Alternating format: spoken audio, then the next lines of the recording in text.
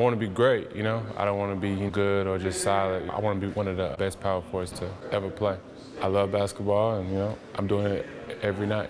Who's your basketball role model? Why? Uh, growing up, it was uh, Tim Duncan. You know, very, very disciplined, smart. You know, uh, game savvy. So I thought, you know, watching him was really big for me.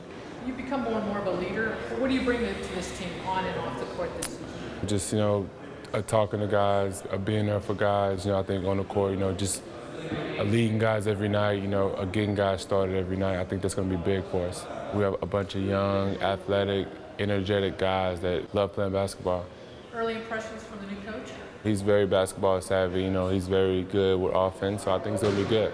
What excites you about playing for him? Um, that I've seen what he did for Dirk and how he helped Dirk, you know, go to the next level by moving him around on the court. So I'm looking forward to that too. Who's the best player in the NBA right now? Other than myself, uh, no, I, I, think the best player has to be uh, LeBron James. He took it to the next level last year, you know, getting to the basket, making big shots. So I think as of now, he is.